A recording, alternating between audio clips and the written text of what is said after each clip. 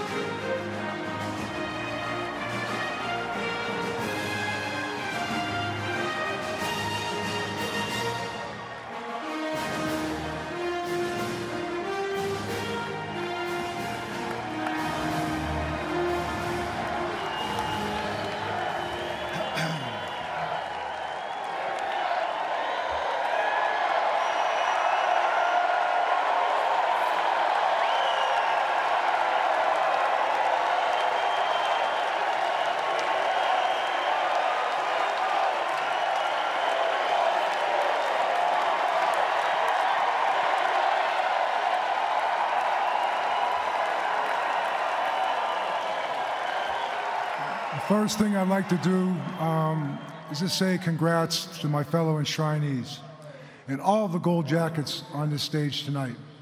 It's an honor to go in with each and every one of you. Your individual, individual careers and journeys are remarkable and inspiring. But what a weekend for the Pittsburgh Steelers.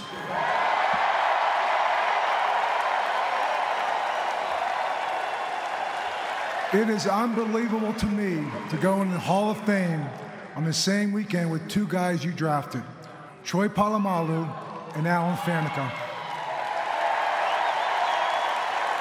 Also, Donnie Shell and the late, great Bill Nunn. But the Pittsburgh Steelers on this stage, the Gold Jackets on this stage, you guys set the standard and created the culture and it's our job to keep it going. So I guess being last to speak has its benefits. You're not infringing on the next guy if you go too long. And if the music starts to play, if I do go long, it won't bother me. I'm used to talking while music is playing. My wife is a musician.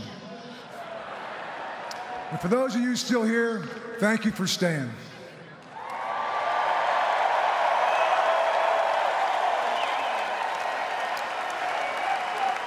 To give proper perspective, I've been in football since the age of 10, 54 years. The last 42 years, I've been in the National Football League as a player, a coach, or an analyst. The last 30 years, I've been with just two teams.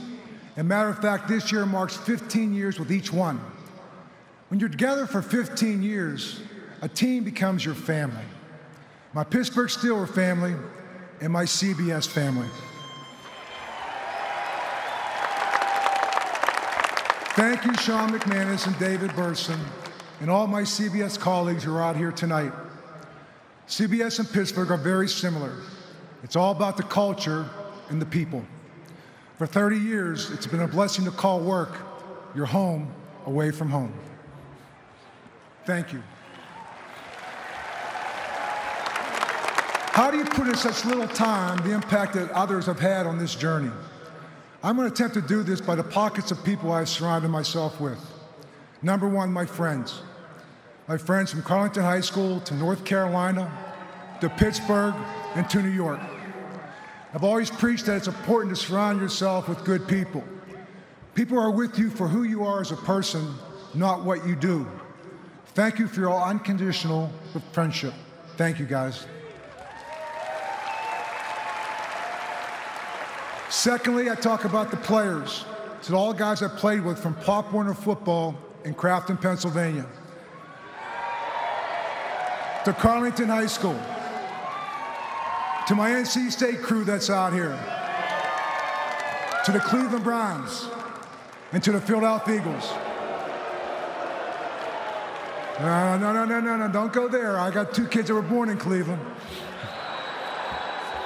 You know, playing football is about camaraderie and having each other's back. It's all about building relationships and friendships through the workouts, the practices, the games, and all the time that we spend together.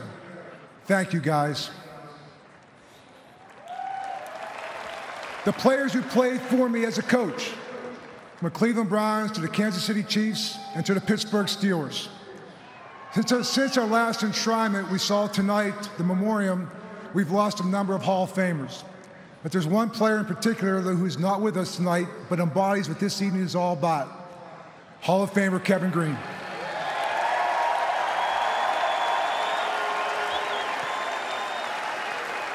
Tara Greene is with us tonight.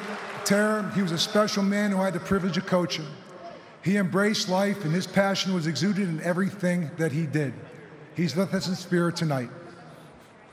But the game, but the game is about the players. For all you guys that played for me, I want to thank you for all your sacrifice, commitment, and trust. You know, as a coach, you ask people to trust. And what is trust? Trust is something as a coach you have to earn. Trust is unconditional, but trust can be powerful. To each and every one of you, in whatever role you played, I want you to know it never went unappreciated. You are a reflection of our culture.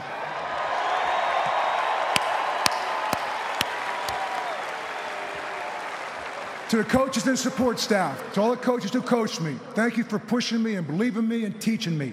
People like Chuck Amato, my linebacker coach at NC State. Thanks, coach. I know it was a handful at times, but you always set me straight.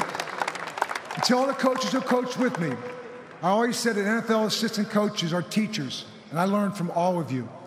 Thank you for your sacrifice, dedication, and loyalty. You know, coaching, like playing, is a brotherhood. You share the joys of winning, the frustrations of losing, and thrive on the next opportunity to do it again. During the season, we spend more time together than we do with our families. So I also want to spend a special thank you to the coaches' spouses for running the home. It takes a special partner to be a coach's wife. And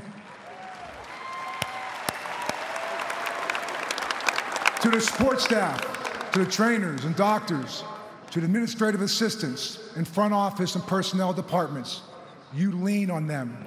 You can't operate without their expertise. And I want to thank for all you to be patient with me. But lastly, my family. It all started for me in Crafton, Pennsylvania. My mom and dad, Dorothy and Laird. Laird was called Bill, hence I was called Billy. And my two brothers, Dale and Doug. We were a close family. Our schedules were formed around sports games and practices and whatever summer jobs that we had. We had a special set of parents who loved each other, who pushed and supported their three boys unconditionally, and instilled the values that we live by today. Thanks, Mom and Dad.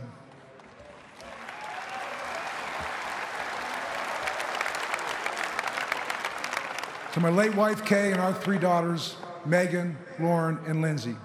We were a very insulated family. Kay was the rock. She was a great partner. And you three girls gave me the balance and perspective and drive to succeed. I just want to make you proud to say that I was your father. I love you guys and the woman you have become.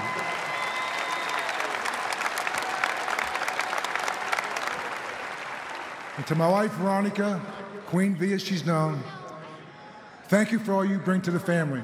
We need a little music and harmony to blend this journey together. Thank you, and I love you. But last, I just want to say to my two main mentors, two individuals who have helped shape and mold me into the person I am today. First, Marty Schottenheimer, the only head coach I've ever worked for. He taught me how to play in the coach when I had never coached before. He gave me the opportunity to be a defensive coordinator when I had never done it before. As a head coach, he won over 200 games in over 20 seasons. He had 14 assistant coaches to go and become NFL head coaches, four of which who have won a Super Bowl. He was a master motivator, a stickler to detail, and for him, it all started with preparation.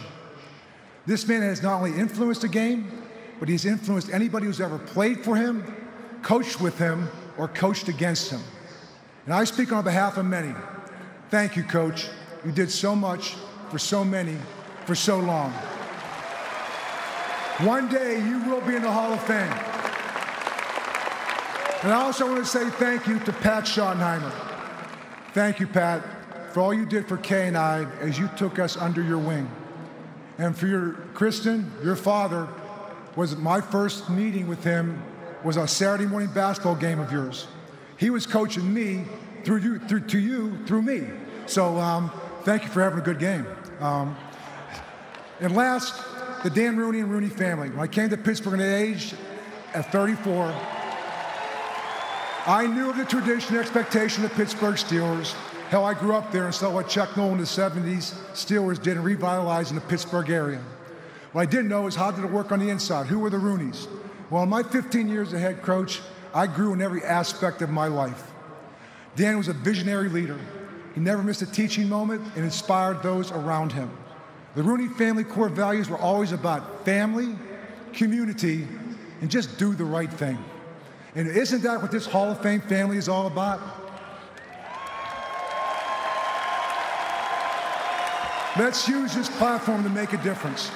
You know, winning was a byproduct of Dan Rooney's approach to embracing the process. And I'll leave you one last example. In 2005, prior to our historic run as a first six seed to ever win a championship, that Monday he came into me and Dan Rooney said and gave me these rosary beads. I said, Dan, I wasn't even, I'm not Catholic. Dan said to me without missing a beat, Coach, it doesn't matter. Every little bit helps. well, Dan, I still have them today. And to those who unfortunately are not with us, my parents, Larry and Dorothy, my wife Kay, Marty Schottenheimer, and Dan and Pat Rooney, you are here in spirit. I feel you, I love you, and hope you're as proud of me as I am of you. Thank you, Steeler Nation.